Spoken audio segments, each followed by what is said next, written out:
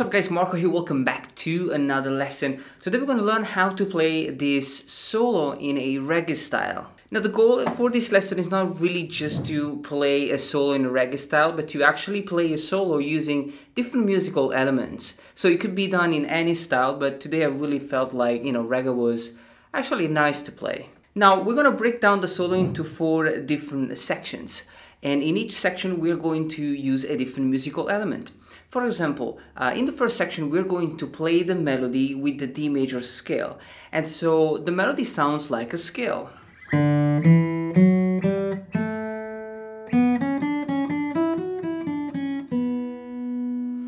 In the second section we're going to play the melody in thirds so we're gonna add an additional note to the melody.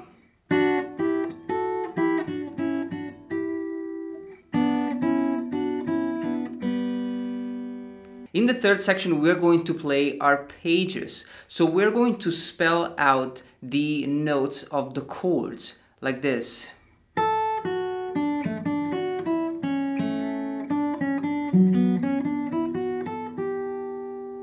And in the uh, fourth section, we're going to play the D major scale uh, in different positions. So it's going to be a little bit more challenging.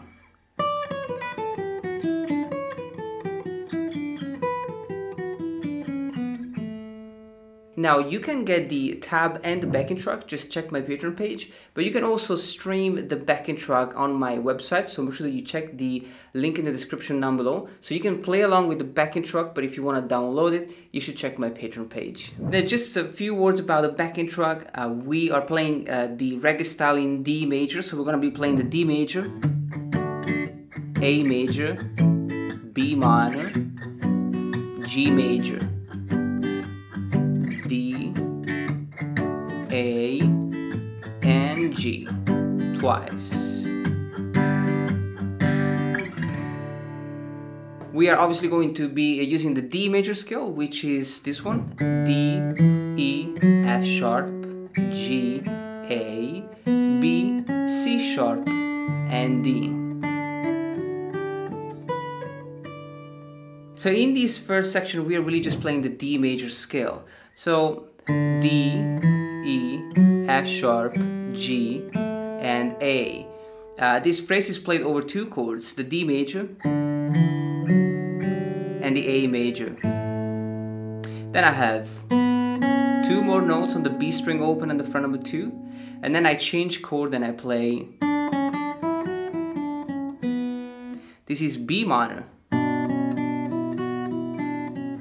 and the G major chord.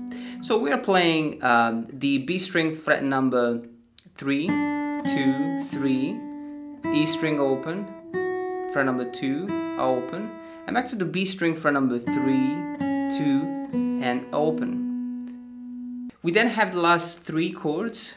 So I have the D major, and the A major, and the G major.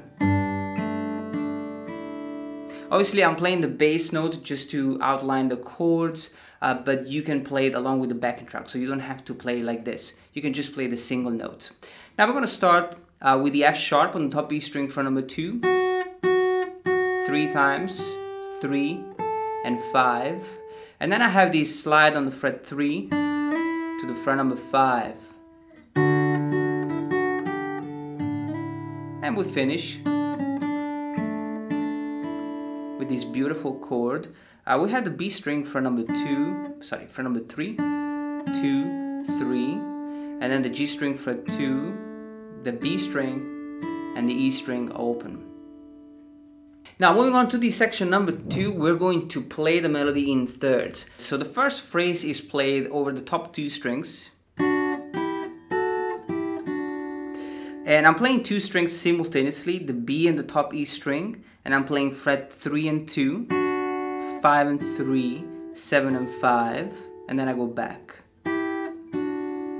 So, and this phrase is entirely played over the D major chord. Now for the A major, I'm playing uh, the uh, B string for number 2 and the top B string open, and then 3 and 2, and 5 and 3. Now for the B minor, uh, we're going to be playing... So we are literally starting with the notes of the chords. We are playing the G string fret 4 and the B string fret 3. Then uh, the B string and the top E string with 2 and zero, three and 2. Back to 2 and 0. And we go back to 4 and 3 on the G and B string. So and we finish with the G and B string open right when we play the G major chord. So we're literally playing over the uh, notes of the chords.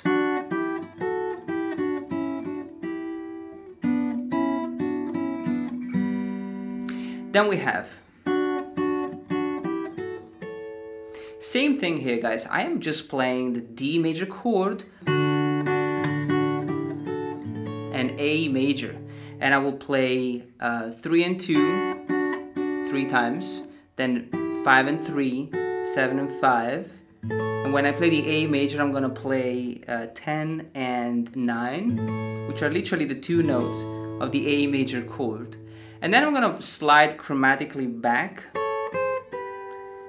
So 10 and 9, 9 and 8, and 8 and 7 uh, which is going to end the phrase over the G major chord.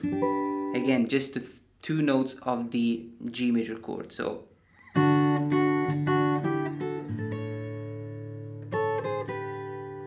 and then we have two more notes on the E string for number 10, 9, and 10.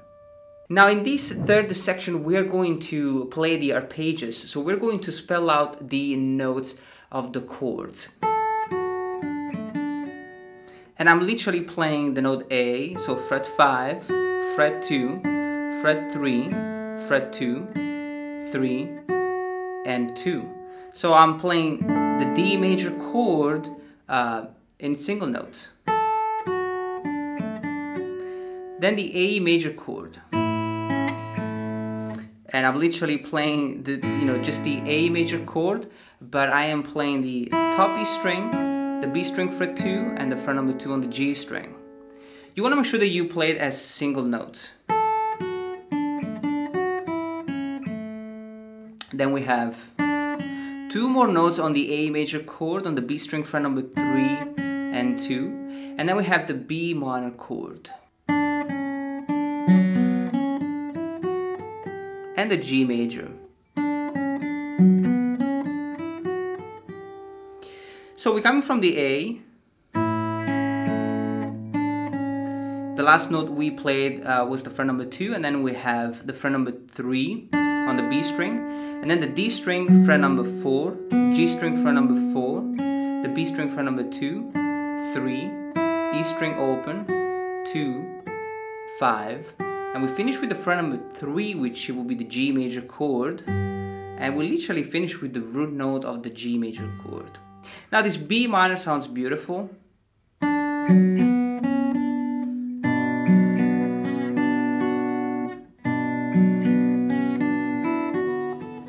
And the G major chord. Uh, you want to make sure that you uh, play this one as single notes. You don't want it to ring out too much.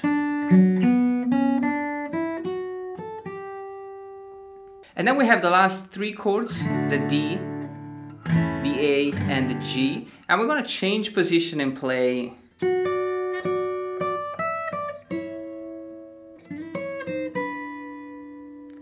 So we're still playing uh, the arpeggio, we're only playing two notes. So for the D major, we are playing simultaneously the G string fret 11 and the top E string fret number 10. And then the melody twice more, then fret 12, 10, and we finish with the um, the A major. We are still playing two notes of the chords, uh, the G string and the top E string for number nine, and then chromatically, and then chromatically, we go from nine to eight to um, seven. So.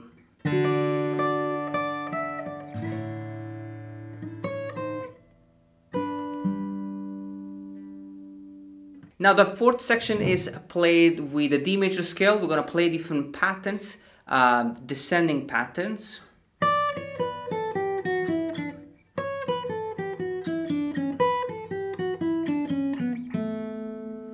So it's the scale played uh, three times in uh, different positions. So we're gonna start with the uh, D major scale in this position. So we're playing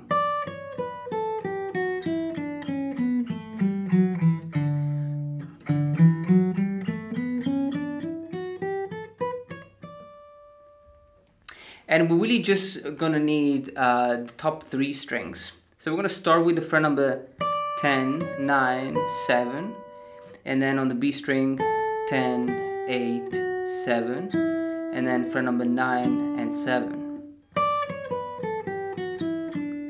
Then we're gonna play the scale like this. We're gonna start from the fret number 9 on the top B string and then 7 and then we're gonna play the B string fret number 10, 8, 7 and then the G string fret number 9, 7 and 6. So when you combine the two things,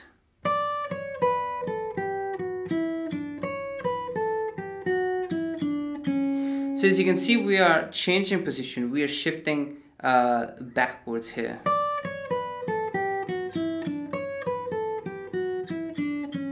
And then the uh, third phrase, so I'm playing uh, the fret number 7 and 5, and then the fret number 8, 7, and 5. And then 7, 6, 4, and 2. And then we finish with the same phrase we learned in the section 1. The one with the slide. We finish with the 3, 2, 3 and slide to fret 5. It's a beautiful way to end this solo. You want to let it ring out and add a little bit of vibrato. So that's it guys, this is how we can play a reggae solo over a backing track using different musical elements. Make sure that you take it step by step, use the backing track to play along, and then at some point just use the musical element to write your solos. I hope you enjoyed this lesson, and I'm gonna leave you to practice this. Have a lovely day, and I'll talk to you soon.